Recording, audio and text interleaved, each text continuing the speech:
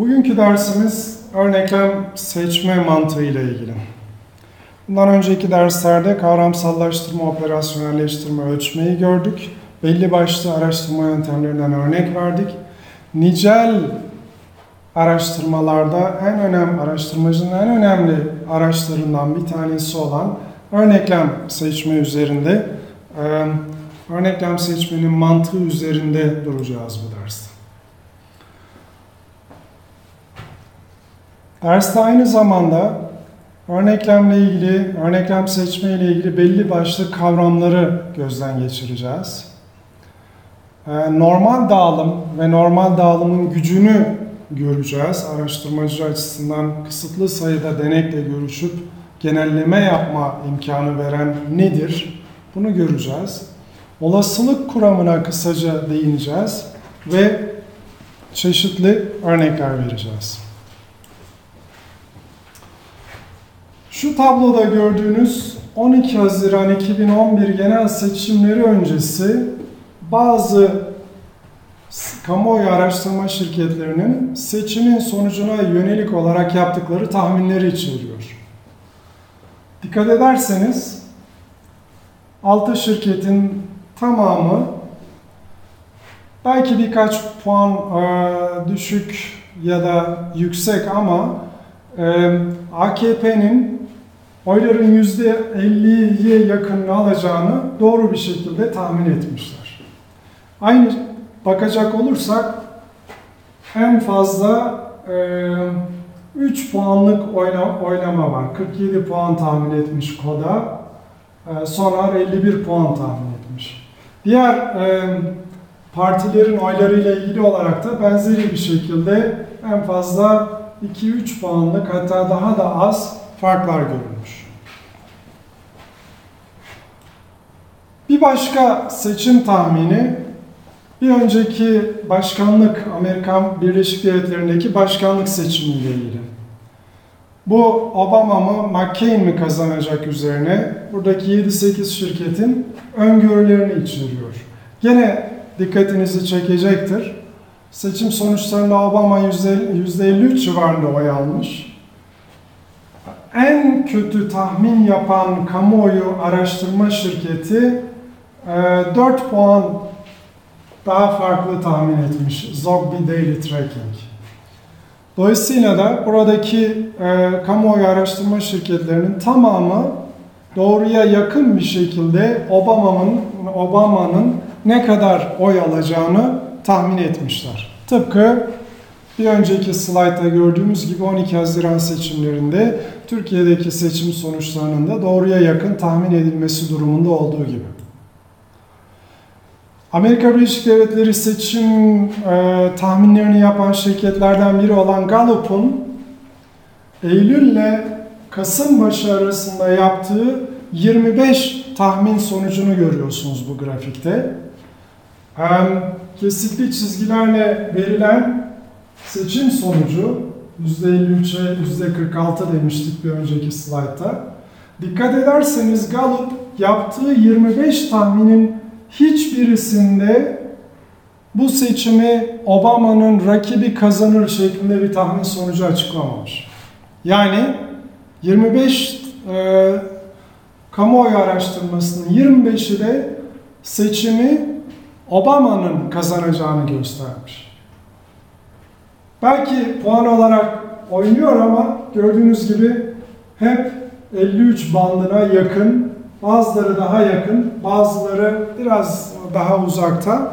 Ama her halükarda Obama'nın önde götürdüğü bir yarış olduğunu Gallup hep doğru tahmin etmiş bu 25 tahminin yapıldığı Eylül ve Ekim ayları arasında. Peki Sizce kamuoyu araştırma şirketleri kaç denekle görüşme yapmış olabilirler bu o doğruya yakın tahminleri yapmak için?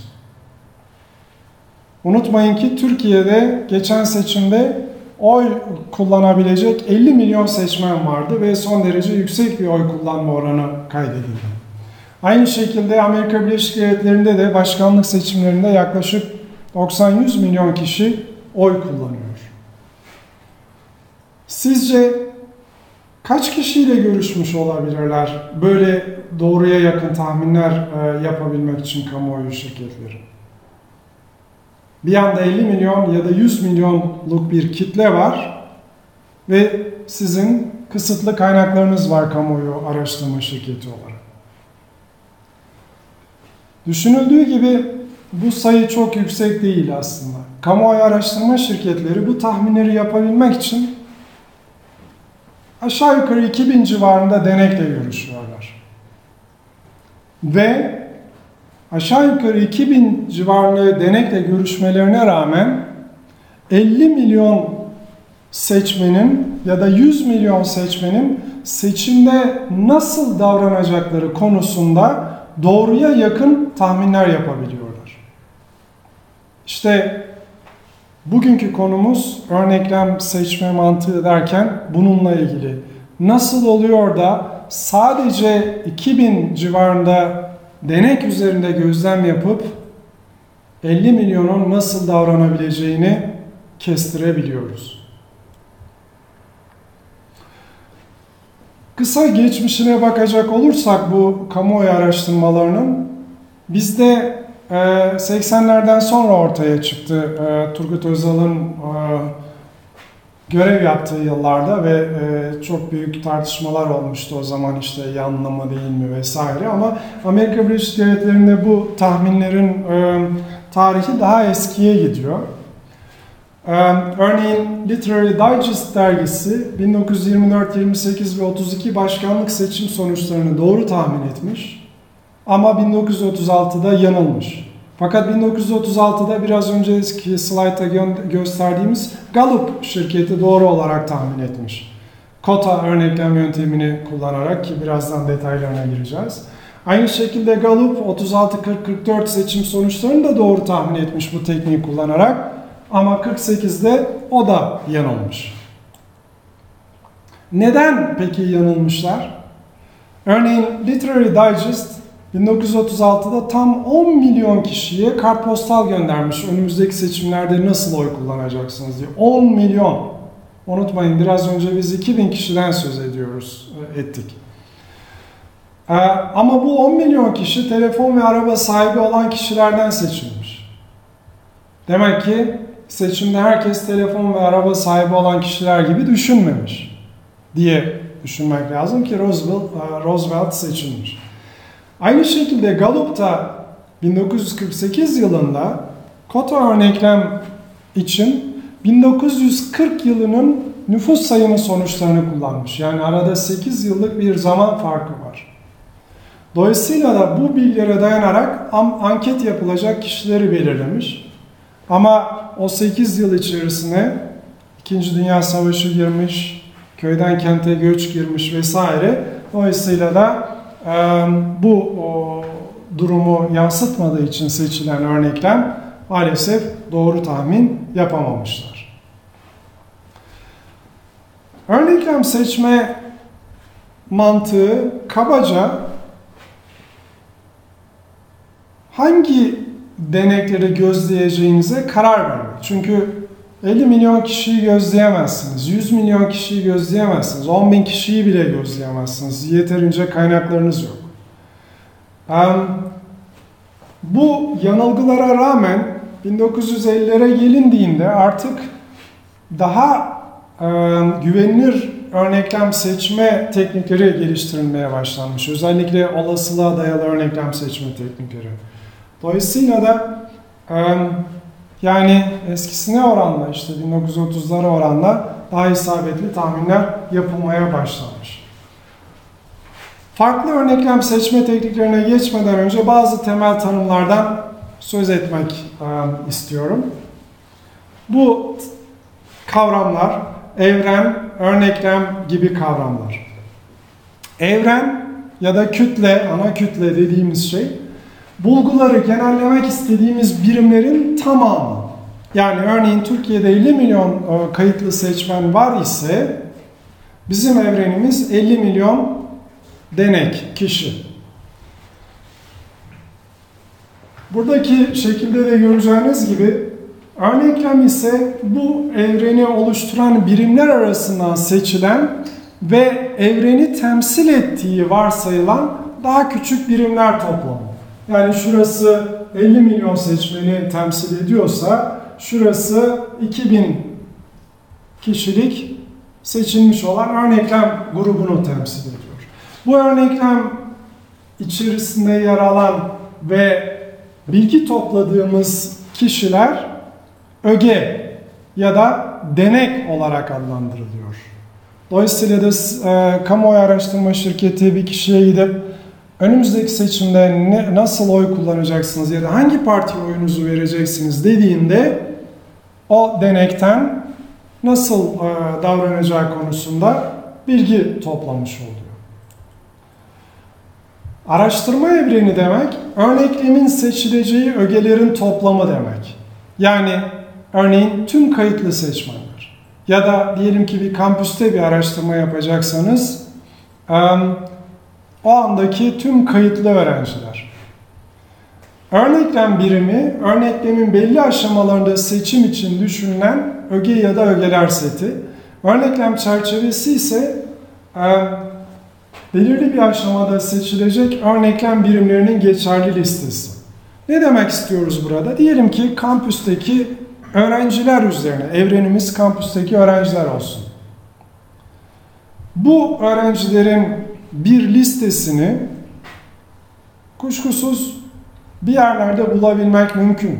Ama o liste belki de eğer sömestre bazında düşünecek olursak sadece o dönem harçlarını ödemiş ve en az diyelim ki X kredilik ders almış öğrencileri kapsıyor olacaktır. Belki de o dönem kaydını dondurmuş ya da çeşitli e, nedenlerle okuldan uzaklaştırılmış kişiler o, o e, evren içerisinde yer almayacaktır. Dolayısıyla bizim araştırma evreni derken kastettiğimiz şey bu. O zaman bizim sadece o dönemde harcını yatırmış e, öğrenciler listesinden örneklem seçiyoruz. Yani ama genellememizi gene o üniversitedeki bütün öğrenciler için yapıyoruz. Her ne kadar kaydını dondurmuş olan öğrenciler o, o listede yer almasa da. Buradan giderek iki diğer kavrama daha bakabiliriz. Bunlardan bir tanesi örneklem arası.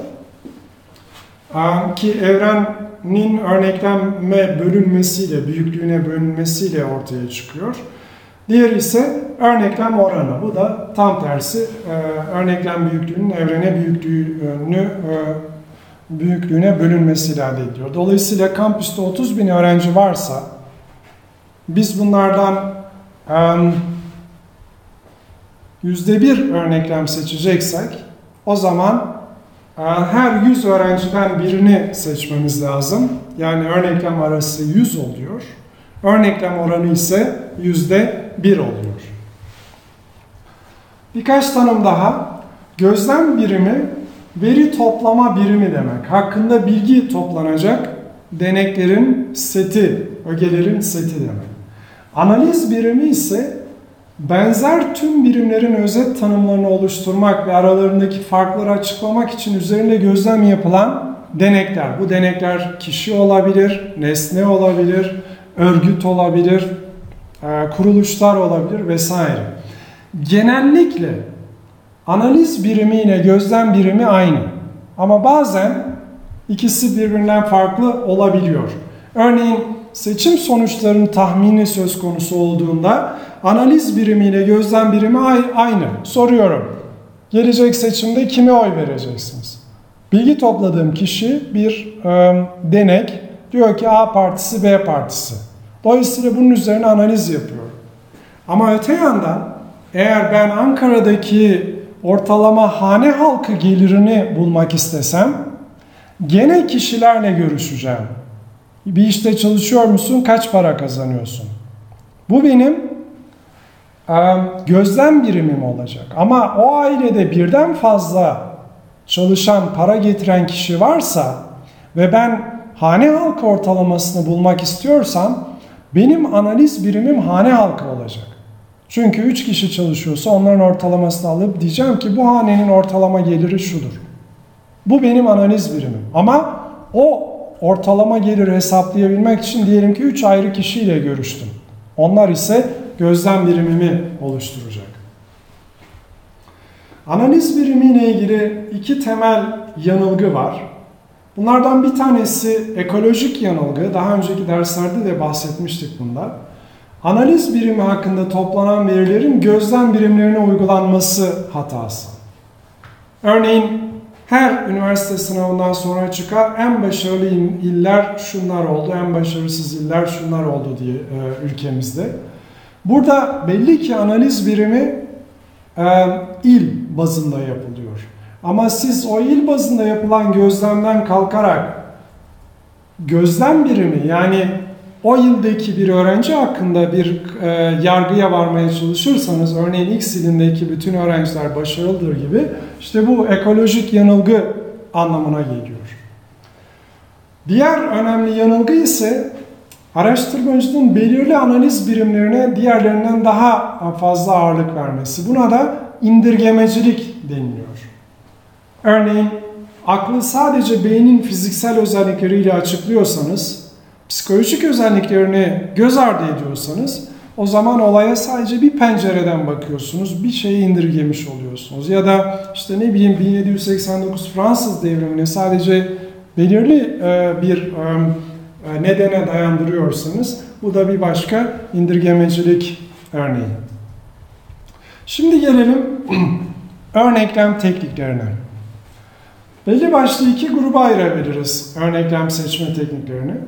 Bunlardan ilk grupta olasılığa dayanmayan örneklem seçme teknikleri var ki kolaycı, yargısal, kartopu, kota örneklem teknikleri bunlardan. Nitekim daha önce Gallup'un kota örneklem tekniğini kullanarak yanıldığını söylemiştik. İkincisi ise olasılığa dayanan örneklem seçme teknikleri ki bunlarda da basit rastgele, sistematik, tabakalı ve kümeleme örneklemler var. Şimdi hızlıca bu örneklem seçme tekniklerine bakalım. Önce olasılığa dayanmayan örneklem seçme teknikleri.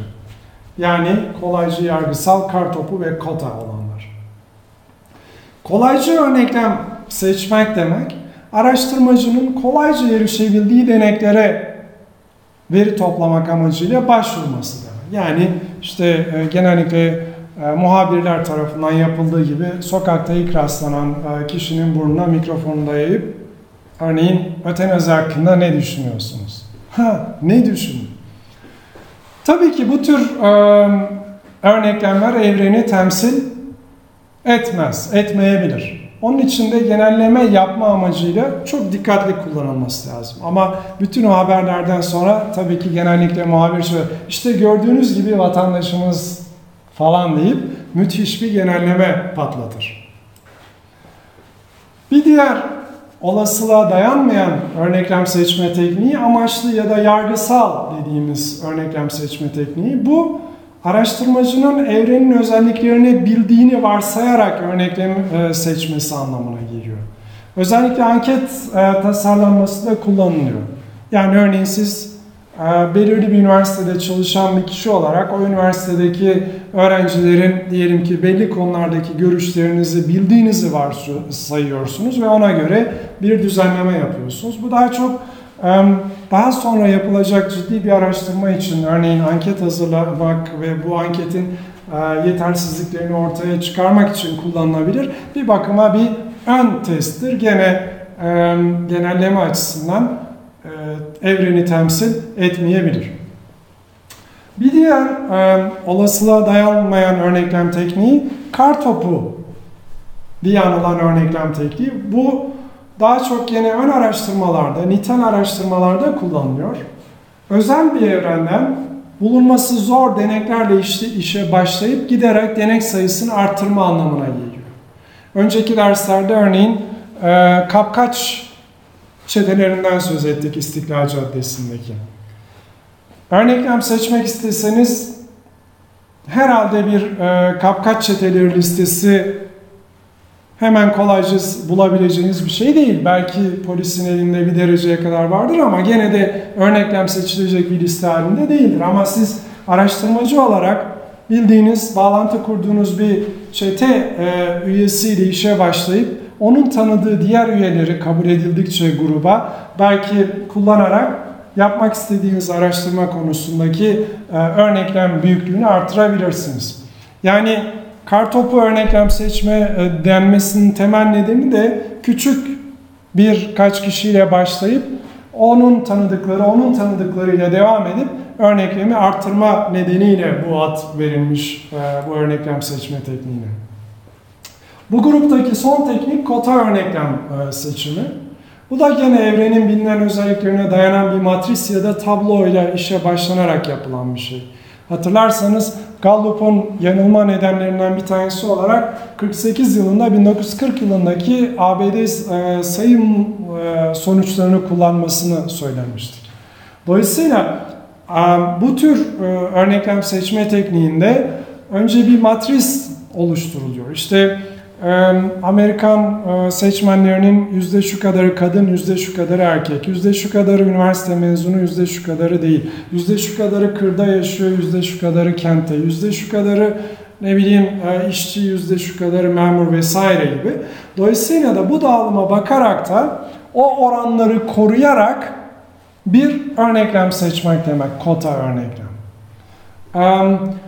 Bu eğer dayandığınız evren, araştırma evreni güvenilir bilgiler içeriyorsa doğru sonuçlar verebilir. Ama evrenle ilgili bilgiler güncel değilse Gallup'un da başına geldiği gibi o zaman sizi doğru tahminler yapma konusunda pek bir yere götürmeyebilir.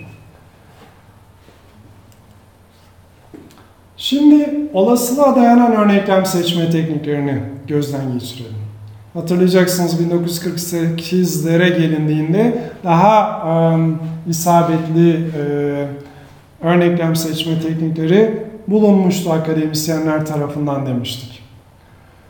Olasılığa dayalı örneklem seçmedeki temel ilke evreni oluşturan her ögenin örnekleme seçilme şansının eşit olması. Tıpkı tombala torbasındaki 90 taşın her birinin bir sonraki çekimde çıkma e, olasılığının eşit olması gibi.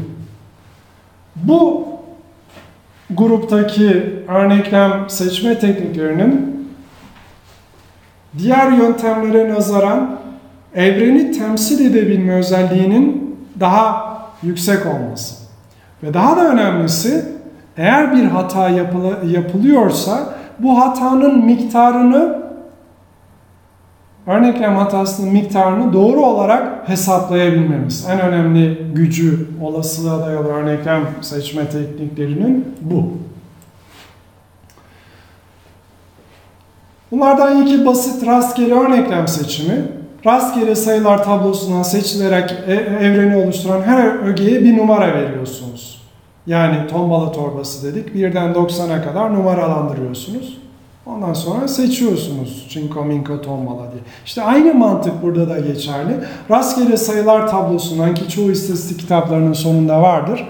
Rastgele bir numara seçiyorsunuz Örnek, örneklem aralığını belirliyorsunuz. Ondan sonra da seçilecek olan, örnekleme seçilecek olan denekleri belirliyorsunuz. Tabii bu son derece zahmetli bir e, örneklem seçme yöntemi. Bazen bu rastgele sayılar tablosu yerine bilgisayarla da bu rakamları e, yaratabiliyorsunuz. Sistematik örneklem seçme bir diğer olasılığa dayalı örneklem seçme e, yöntemi.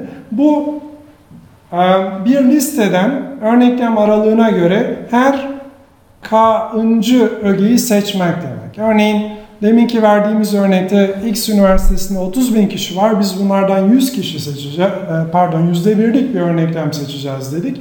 O zaman e, yapacağımız iş 30 bin kişi önce rastgele bir başlangıç numarası belirleyip arkasından yüzer arttırarak örneğin 37 geldiyse 37. kişi 137. 237. diye 300 kişiyi belirleyeceğiz yüzde bir örneklem için. Burada dikkat edilmesi gereken bir nokta listedeki ögelerin devirsel olmaması. Yani belirli e, numaraların bir anlam ifade etmemesi. Örneğin askerlikteki manga olayını düşünün. Rastgele bir numara seçtiniz, bir numara çıktı. Dolayısıyla siz her mangadan bir kişi seçeceksiniz. O zaman manga başlarından oluşan bir örnekleminiz olacak. Bu, buradan giderek de diyelim ki işte X bölgesindeki askerlerin ortalama boy uzunluğu şudur dediğiniz anda aslında evreni hiç temsil etmeyen bir veri sunuyorsunuz anlamına geliyor. Çünkü sadece manga başlarının örneklemde olduğu bir durumu yansıtıyor. Tabakalı örneklem seçimi ise evreni oluşturan ögeler örneklemin temsiliyetini artırmak için birbirine benzeyen gruplara ayrılıyor, tabakalara ayrılıyor. Dolayısıyla da diyelim ki işte X bölümünde 300 öğrenci var. Biz bu öğrencilerden %10'luk örneklem seçeceğiz. Ama bu 300 öğrenci birinci sınıfta 100 e, kişi, ikinci sınıfta 80 kişi, üçüncü sınıfta 50 kişi biçiminde azalarak dağılmış. E o zaman biz bu oranı bildiğimiz için e, dolayısıyla elimizdeki listede e, seçilen kişilerin %30'unun 300 kişi ise eğer %33'ünün birinci sınıflardan gelmesini sağlayacağız. Eğer sıralanmış bir liste varsa elimizde yani birinci sınıflardan dördüncü sınıflara kadar bütün öğrenciler sıralandıysa o zaman her eninci öğrenciyi seçmek burada bize e, bir tabakalı örneklem seçimi sonucu veriyor. Çünkü önce birinci sınıftaki 100 kişi diyelim ki %10 örneklem aldınız onlardan 10 kişi gelecek. İkinci sınıftaki 80 kişi 8 kişi oradan gelecek falan biçimde. Ama aynı listeden basit rastgele e, sayılarla seçim yapacak olursanız o zaman bu tabakalama tabii ki bozulmuş oluyor. Küme örneklem bir diğer olasılığa dayalı örneklem seçimi yöntemi. Bu tabakalama, evreni tabakalamanın mümkün olmadığı zamanlarda kullanabileceğimiz bir teknik. E, ki birden fazla aşaması olan bir teknik aynı zamanda. Önce Birinci örneklem ögelerini sıralıyorsunuz. Diyelim ki e, Ankara'nın değişik e, e, ilçelerinde hane halkı ortalama geliriyle ilgili bir şey yapacaksınız. O zaman ilk aşamada önce hangi ilçeler olduğunu seçeceksiniz ya da e, mahalleler. Ondan sonra hane halklarını seçeceksiniz vesaire. Dolayısıyla birden fazla aşamalı bir örneklem seçme durumu var. Ee, burada da gene araştırma e, evreni, örneklem çerçevesi e, farklı olabilir. Diyelim ki e, ilçelerin adları kolayca bir liste olarak vardır da ama bütün mahallelerin adları olmayabilir gibisinden. Daha karmaşık örneklem seçme teknikleri de var kuşkusuz. Küme örnekleme ilaveten. Bir de her şeyden önce deminki ilçe dediğimizde bile yani ilçe var, Ankara'nın önemli bir nüfusunu barındırıyor. İlçe var, çok az insan yaşıyor. Dolayısıyla bu tür durumlarda ne yapabiliriz? Temsili arttırmak için bu tür durumlarda bizim dikkatli davranmamız gerekiyor. Çünkü iki ya da daha fazla aşamalı örneklem seçme söz konusu olduğunda her aşamada kendine özgü bir örneklem hatası olacağından örneğin birinci örneklem ögelerini seçerken bir hata yaptığınızda ikincisini seçerken ne kadar dikkatli davranırsanız davranın o hatayı telafi edemezsiniz. Örneğin ilk örneklem seçiminize hep kalabalık nüfusun olduğu ilçeler e, rastladıysa ondan sonra istediğiniz kadar e, ikinci aşamada daha e, dengeli bir örneklem seçmiş olun. Bu gene de sizin sonuçlarınızı büyük ölçüde etkileyecektir. İki teknik var burada. Özellikle bu tür e, tabakalamanın vesaire yapmanın mümkün olmadığı durumlarda kullanılacak. Birincisi büyüklükle orantılı olasılıksal örneklem seçme. Burada ikinci örneklem seçimi sırasında seçilecek ögelerin büyüklükleriyle orantılı olarak kümeleri seçiyoruz. Örneğin hane sayısı az olan mahallelerden ilk aşamada daha büyük örneklem alıyoruz ki ikinci aşamada eşit şekilde temsil edilsin diye. Unutmayın olasılığa dayalı örneklemin en önemli ilkesi her deneyin eşit seçilme şansı olması. Bu eşit seçilme şansı tek aşamalı örneklem seçme de olsa, birden fazla aşamalı örneklem seçme de olsa korunması lazım. Bir diğeri orantısız örnekleme ve ağırlıklandırma. Burada da örnekleme seçilen ögelere seçilme olasılıkları ile ters orantılı ağırlıklar verilir. Örneğin iş yerinde tacizle ilgili erkek ve kadın yöneticilerin bakış açılarını saptamak istiyorsunuz.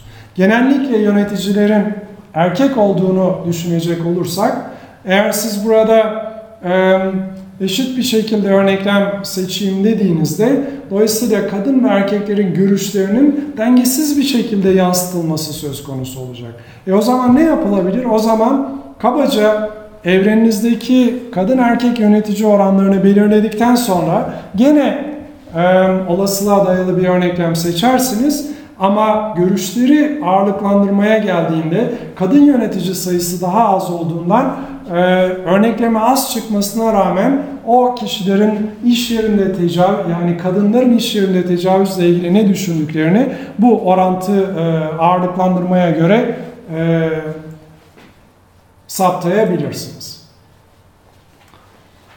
Peki seçilen örneklemin evreni temsil etmesi ile ilgili temel kriterler neler? Yani hangi durumlarda örneklem evreni daha iyi temsil eder, hangi durumlarda daha e, e, az iyi temsil eder?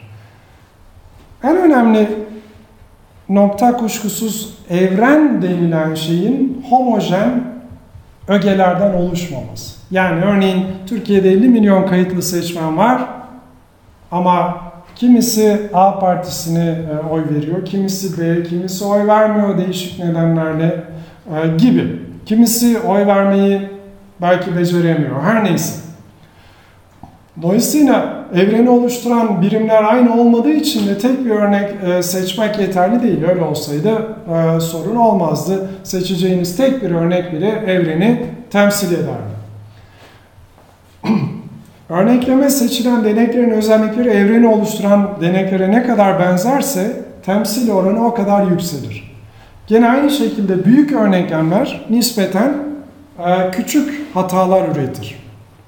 Ama bir yerden sonra evrenin çok büyük olması o kadar da önemli değil. E, dersin başındaki slaytlarda gördüğünüz gibi kamuoyu, a, kamuoyu araştırma şirketleri yaklaşık 2000 civarında insanla konuşuyor.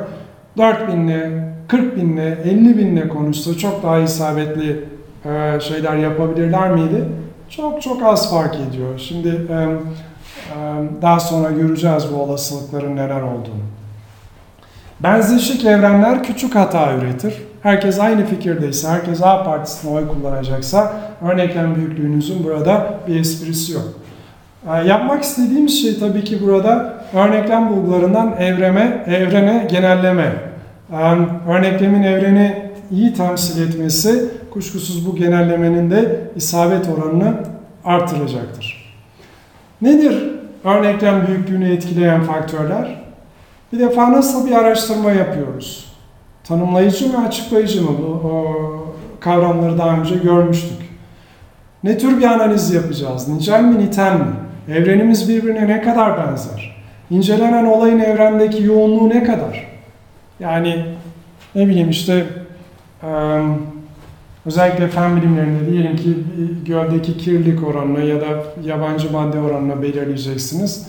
Oradan işte çok küçük bir şey aldığınızda muhtemelen bu yeterli olmayabilir. Değişken sayısı. Kaç farklı değişken var araştırmada? Alt grup sayısı. Yanıt oranları. Geçen betimleme konusunda üzerinde durmuştuk. Yani %3'ü 5'i eğer geri dönüş yapıyorsa web anketlerinde bunlara dayanarak genelleme yapmanın çok bir esprisi yok diye. Araştırmanın araştırmacının mali kaynakları, zamanı e, vesaire kararın önem derecesi bunu bir sonraki derste daha iyi göreceğiz hipotez testlerinde. Yani siz ne kadar güvenle A partisi kazanır ya da B partisi kazanır demek istiyorsunuz.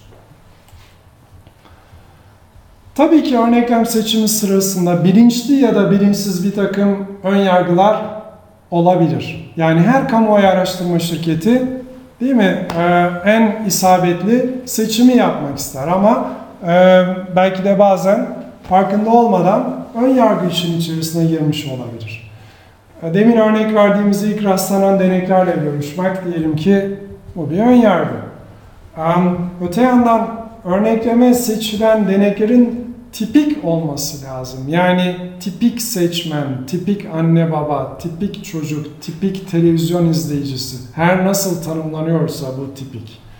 O bakımdan da web aracılığıyla ya da kısa mesaj gönderilerek yapılan kamuoyu yoklamaları, yarışmalar vesaire bu buradan çıkacak sonuçları evrene genellemek mümkün değil. Çoğu zaman sizin öyle bir e, anket yapıldığından haberiniz olmuyor. Bu da olasılığa dayalı örneklemelerin temel ilkesi olan her deneyin örnekleme seçilme şansının eşit olması e, ilkesini e, kuşkusuz ihlal ediyor.